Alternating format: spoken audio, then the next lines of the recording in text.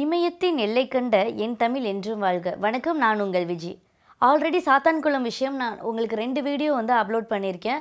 இன்றைக்கி வந்து எதனால் இந்த வீடியோவை அப்லோட் பண்ணுறேன் அப்படின்னா உண்மையாகவே வந்து ஒரு பெண் காவலர் வந்து ஒரு துணிச்சலான ஒரு முடிவெடுத்து ஒரு விஷயங்கள் வந்து செய்திருக்காங்க. அந்த ஒரு விஷயத்தினால தான் இன்றைக்கி இந்த வீடியோவை நான் அப்லோட் பண்ணுறேன் உண்மையாகவே சாத்தான்குளத்தில் நடந்தது என்ன அப்படிங்கிற ஒரு விஷயத்த நம்ம மெஜஸ்டிக் பாரதிதாசன் அவர்கள் டைரெக்டாக போய் ஃபுல்லாக அனலைஸ் பண்ணி அறிக்கை வெளியிட்டிருக்காரு. பெண் காவலர் ஒருத்தவங்க வந்து அவங்களோட வாக்குமூலத்தையும் கொடுத்துருக்காங்க. அது என்னென்ன தந்திருக்காங்க அப்படிங்கிறத இந்த வீடியோவில் நம்ம பார்க்கலாம். உயர்நீதிமன்ற உத்தரவின் பேரில் மெஜஸ்டிக் பாரதிதாசன் அவர்கள் அந்த சாத்தான்குளம் போலீஸ் ஸ்டேஷனுக்கு இருபத்தி எட்டாம் தேதி போயிருக்காங்க. அங்கே அந்த இருபத்தி எட்டாம் தேதி போகும்போது இவங்களுக்கு ஊரிய மரியாதை யாருமே கொடுக்காம இருந்திருக்காங்க அந்த ஸ்டேஷனில் அங்கே யார் யார் இருந்திருக்காங்க அப்படின்னா ஏஎஸ்பி குமாரும் பிரதாப்பும் இருந்திருக்காங்க. அவங்க ரெண்டு பேருமே இவங்களுக்கு ஒரு விஷ் பண்ணல அவங்களோட பாடி லாங்குவேஜே சரியில்லை அப்படிங்கிற ஒரு அறி அப்படிங்கிற ஒரு விஷயத்த வந்து அவங்களோட அறிக்கையில் தெளிவாக கொடுத்துருக்காங்க. அது மட்டும் இல்லை அங்கே உள்ளவங்க வந்து இந்த மாதிரி ஃபைல்ஸ் கொடுங்க அப்படின்னு சொல்லி கேட்டிருக்காங்க. நான் செக் பண்ணணும். நீங்கள் ஃபைல்ஸ் கொடுங்க அப்படின்னு சொல்லிட்டு அவர் கேட்டிருக்காரு. யாரும் ரெஸ்பான்ஸ் பண்ணவே இல்லையா காதில் வாங்காத மாதிரி அங்கிட்டும் இங்கு- இங்கிட்டும் அலைஞ்சிட்டு இருந்திருக்காங்க. உடனே இவங்க கோபம் கொண்டு ரைட்டரை கூப்பிட்டு நீங்கள் எனக்கு வந்து ஃபைல்ஸ்லாம் கொடுங்கன்னு சொல்லி ஒரு ஒரு ஃபைல்ஸையும் செக் பண்ணியிருக்காங்க.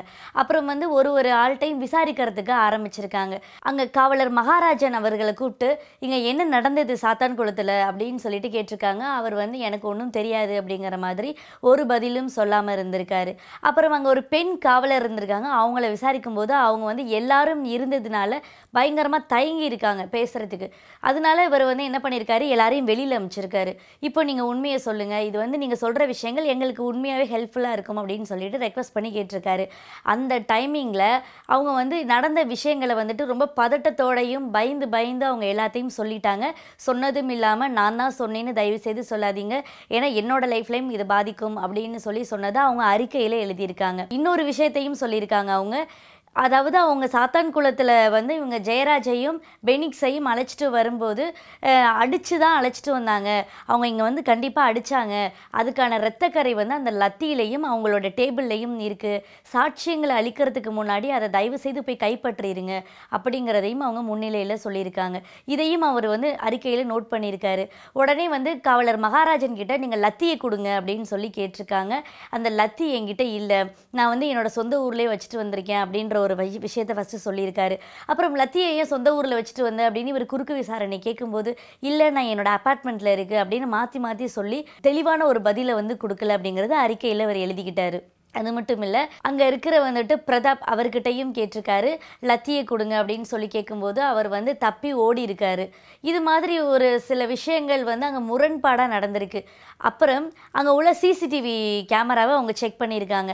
அங்கே வந்து பத்தொம்போதாம் தேதியிலேருந்து இருபத்தி எட்டாம் தேதி வரைக்கும் எதுவுமே ரெக்கார்ட் ஆகலை அப்படிங்கிற ஒரு விஷயமும் அதில் தென்னன் தெளிவாக இவர் வந்து அறிக்கையில் பதிவு செஞ்சுருக்காரு. அதாவது இவங்க என்ன பண்ணியிருக்காங்கன்னா அந்த ஒன் டிபி ஹார்டிஸ்க் அப்படின்னாலும் அதை வந்து ஒரு ஒரு நாளும் அதாவது அதாவது ஒரு சிசிடிவி எடுத்துட்டால் எப்படியும் குறைஞ்சது ஒரு ஆறு நாளோ ஏழு நாளோ இல்லை பத்து நாளோ இல்லை இருபது நாளோ கண்டிப்பாக ஃபுட்டேஜ் சேவ் ஆகிருக்கும் அப்படிங்கிற ஒரு விஷயம் எல்லாருக்கும் தெரியும். அதுவும் போலீஸ் ஸ்டேஷனில் ஆதாயங்கள் கண்டிப்பாக வந்துட்டு வச்சுருப்பாங்க. இவ்வளோ நாள் வந்துட்டு பதிவு பண்ணணும் அப்படிங்கிற ஒரு விஷயம் இருக்குது இது எல்லாமே இருக்கும்போது அவங்க டெய்லியும் எரைஸ் ஆகிற மாதிரி வந்துட்டு ஒரு விஷயத்தை செட் பண்ணியிருக்காங்க. எந்த ஃபுட்டேஜாக இருந்தாலும் ஒரு நாள் தான் அது இருக்கும். எல்லாத்தையும் எல் மற்ற மறுநாள் வரும்போது அது எல்லாமே டெலீட் ஆகிடுங்கிற அளவுக்கு அவங்க வந்து பதிவு செஞ்சு வச்சுருக்காங்க. இதை வந்து பார்த்த உடனே அவர் இன்னும் இந்த ஹார்டிஸ்க்கை வாங்கிட்டு புதுசாக ஒரு ஹார்டிஸ்க் வாங்கி அங்கே வந்து கொடுத்துருக்காரு.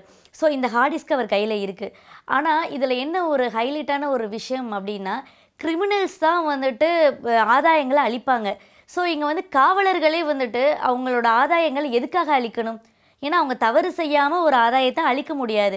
ஸோ எதனால் அழிக்கணும் அப்படிங்கிற ஒரு விஷயம் வந்து மக்கள்கிட்ட ஒரு கேள்வியாக இருக்குது அது மட்டும் இல்லை ஒரு பெண் காவலரை வந்துட்டு முன் வந்து இவ்வளோ தூரம் சொல்லியிருக்காங்க.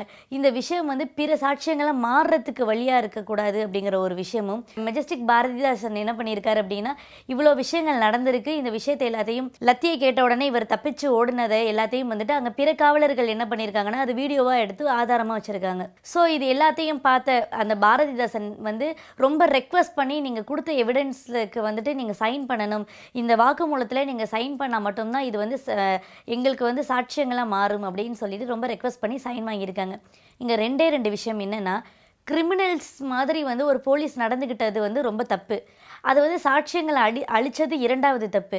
மூணாவது இந்த பெண் போலீஸ்க்கு வந்து உரிய பாதுகாப்பு அளிக்கணும். ஏன் அப்படின்னா ஒரு பெண் போலீஸ் வந்துட்டு இந்த அளவுக்கு அதாவது பெண் போலீஸ் வந்துட்டு இந்த உலகத்தில் சர்வைவல் பண்ணுறதுங்கிறது ரொம்ப கஷ்டமான ஒரு விஷயம்.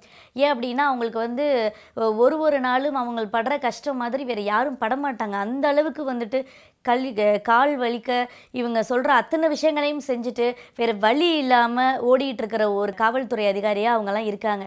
அப்படி இருக்கும்போது இன்னொரு பிற காவலர்களுக்கு வந்து எதிர்சாட்சி சொல்லி ஒரு வாக்குமூலத்தை இவங்க வந்து ஒரு துணிச்சலாக பதிவு செஞ்சு சாத்தான் குளத்தில் என்ன நடந்தது அப்படிங்கிறத வெட்ட வெளிச்சமாக இவங்க தெளிவி தெரிவிச்சிருக்காங்க அப்படின்னா இந்த பெண் போலீஸ்க்கு வந்து கண்டிப்பாக சாட்சியம் சொன்னதுனால ப்ராப்ளம்ஸ் நிறைய விதத்தில் வரும். ஸோ அவங்களுக்கு வந்து எந்த விதத்துலேயும் பாதிப்பு இல்லாமல் நீங்கள் தான் வந்துட்டு உயர்நீதிமன்றத்துலேயும் சரி அரசாங்கமும் ஒரு நல்ல முடிவு எடுத்து அவங்களுக்கு பாதுகாப்பு கொடுக்கணும்னு சொல்லி உங்களிடமிருந்து விடைபெறுவது உங்கள் விஜய்.